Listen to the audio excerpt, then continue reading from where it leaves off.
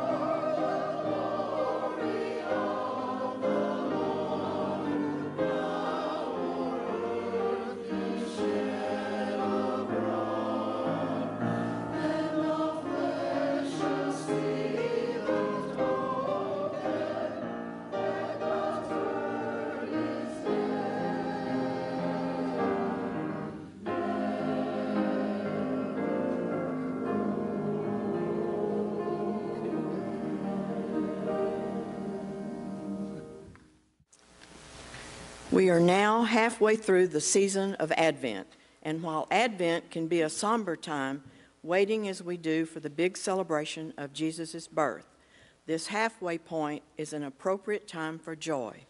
Joy that is rooted deeply in the love and grace of God that we know in Jesus Christ. Hear these verses from Isaiah 35, verses 1 through 4. The wilderness and the dry land shall be glad the desert shall rejoice and blossom. Like the crocus, it shall blossom abundantly and rejoice with joy and singing. The glory of Lebanon shall be given to it, the majesty of Carmel and Sharon. They shall see the glory of the Lord, the majesty of our God. Strengthen the weak hands and make firm the feeble knees. Say to those who are of a fearful heart, be strong, do not fear. Here is your God. God will come with vengeance, with terrible recompense. He will come and save you.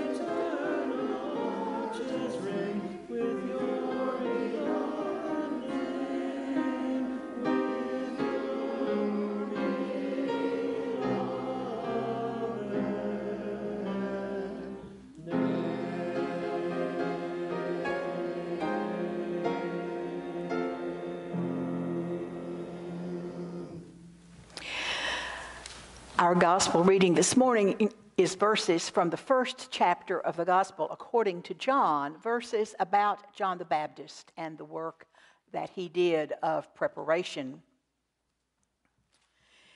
There was a man sent from God whose name was John. He came as a witness to testify to the light so that all might believe through him. He himself was not the light but he came to testify to the light. The true light, which enlightens everyone, was coming into the world. This is the testimony given by John when the Jews sent priests and Levites from Jerusalem to ask him, Who are you?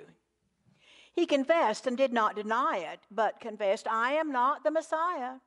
And they asked him, What then? Are you Elijah? He said, I am not. Are you the prophet? He answered, No. Then they said to him, Who are you? Let us have an answer for those who sent us. What do you say about yourself? He said, I am the voice of one crying out in the wilderness, Make straight the way of the Lord, as the prophet Isaiah said. Now, they had been sent from the Pharisees, and they asked him, why then are you baptizing if you are neither the Messiah, nor Elijah, nor the prophet? John answered them, I baptize with water. Among you stands one whom you do not know, the one who is coming after me. I am not worthy to untie the thong of his sandal. This took place in Bethany across the Jordan where John was baptizing. The gospel of the Lord.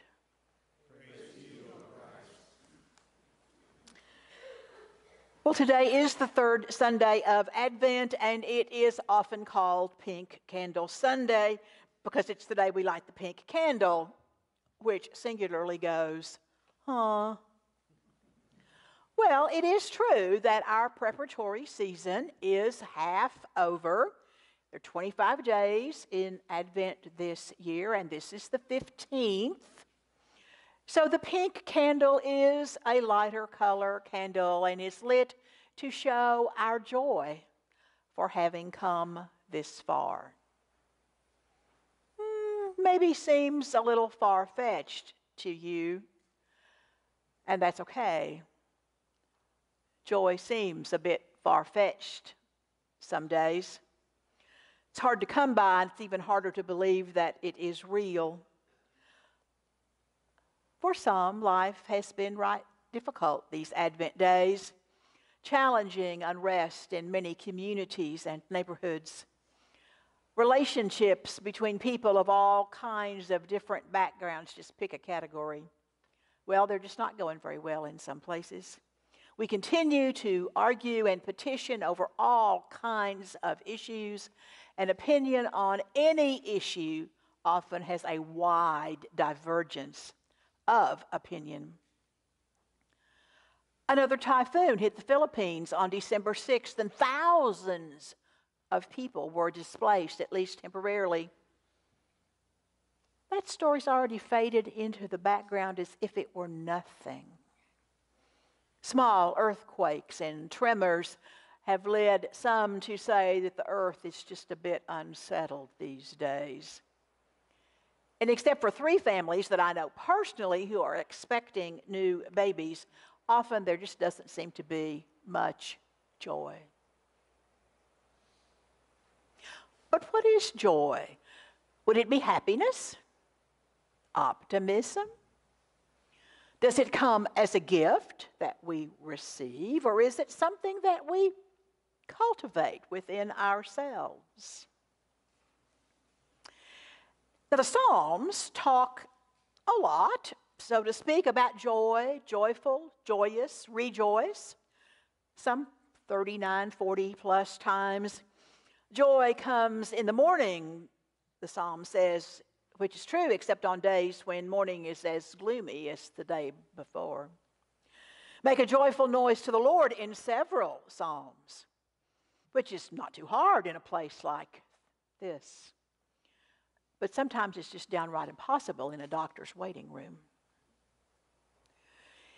In the prophetic writings, the prophet Isaiah uses joy, joyful, joyous the most. Four times in chapter 35, which Jack read, the desert shall rejoice, rejoice with joy and singing. The tongue of the speechless, will sing for joy. The ransomed of the Lord shall return. Everlasting joy shall be upon their heads, and they shall obtain joy and gladness. But even with the encouragement of Scripture, joy some days remains elusive. For some, joy would be enough food for the day, echoing the age old petition give us this day our daily bread. For others, joy would be a warm place to sleep, or maybe something with clean, with all the buttons that worked that you could wear to a job interview. For some, it will be one of these wonderful quilts that we're fixing to give away. For some retired ministers and missionaries, particularly who had small salaries during their active working years, joy is extra money that comes through the joy offering, which we are making in these Advent days. Now, if this were a class discussion, we could each take turns talking about what joy would be for us. A conversation that would be based on the assumption that God's people ought to exhibit joy. After all, it is the second on the list that the Apostle Paul gives us of evidences of the work of the Spirit. Love is first, joy is second. Now, joy isn't mentioned in the story about John the Baptist. He's in the wilderness where Advent begins. He's the one crying out for repentance, for getting ready for God, for God who is coming, for the God who would perhaps bring joy, but he himself does not exhibit great joy. What we do find joy in Luke's birth narrative the angel said unto the shepherds, Do not be afraid, for see, I am bringing you good news of great joy for all the people. But still, Presbyterian minister and writer Frederick Buechner writes in a sermon to be a saint this description of a saint, a human being, a child of God. To be a saint is to work and weep for the broken and suffering of the world, but also to be strangely light of heart in the knowledge that there is something greater than the world that mends and renews. Maybe more than anything else, to be a saint is to know joy. Not happiness that comes and goes with moments that occasion it, but joy that is always there like an underground spring, no matter how dark and terrible the night. For a long time, I've been intrigued by this definition because it tells us that joy has a deep grounding, a permanence that is not affected by the ups and downs of human life, not destroyed by disease or wind or violence it is as though we have a deep well within us, a space where there is joy. Joy that can rise up and nourish us and refresh us and encourage us. But how does that happen, you might say? Where would be the proclamation of joy in our lives? So, if we take seriously the message of the prophet, joy comes when God comes. The desert blooms when God comes. Now, I hope you have noticed each week the sanctuary is blossoming a little more. Maybe you didn't notice that the Christmas tree wasn't even on the first week of Advent. And trust me, wait till next week. Have you seen our dry riverbed? Watch carefully. There is more blossoming to come.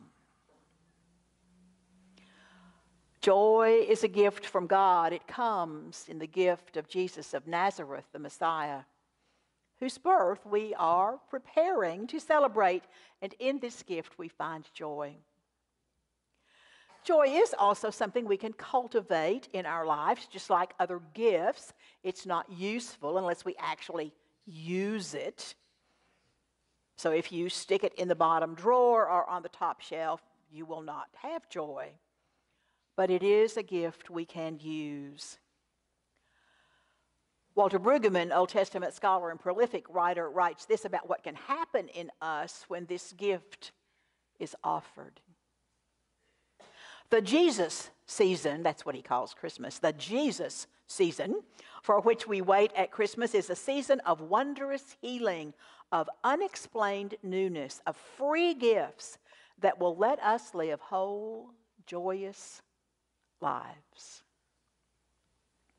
So, the third Sunday of Advent, the Pink Candle Sunday, the We're Halfway There Sunday, the Joy Sunday. We stand in a world that is dark and broken in many places. But we hear the announcement that there is joy, joy that is coming, that we can receive joy, that we can have joy in our lives. The wilderness and the dry land shall be glad. The desert shall rejoice and blossom, rejoicing with joy and singing. Here is your God. The Lord will come and save you. Everlasting joy will be upon your head. Thanks be to God. The Westminster Presbyterian Church is not particularly a big congregation, but we do have amazing members and they have amazing talents, most of which they're willing to share. So, some of our amazing folks with amazing talents make quilts. And you see their work 45, 21 adult size, 24 children size. Following worship, I hope you will walk the aisles looking at the amazing variety of the patterns. From the beginning, these quilts were made to be given away to families who are in a time of need at the Salvation Army Family Center. We don't know these people, we don't know their names. We can imagine, but we do not know their circumstances. But we give them away because there is a need. Pray with me that we may ask God's blessing on the givers and the receivers. Holy Lord God, in these holy days, we remember how generous you are, giving of yourself to come and live with us and show us the depth of your love. Today, we are grateful for the labor and the generosity of some of our members, folks we know and care about. Thank you for their work. We also pray for your abundant mercy and grace to come into the lives of those who will receive these quilts. May they add warmth to combat cold. May they represent hope in a dark time. And may they bring some joy, joy in the face of difficult situations. And we ask these things in Jesus' name, He who gave everything. Amen. Mm-hmm.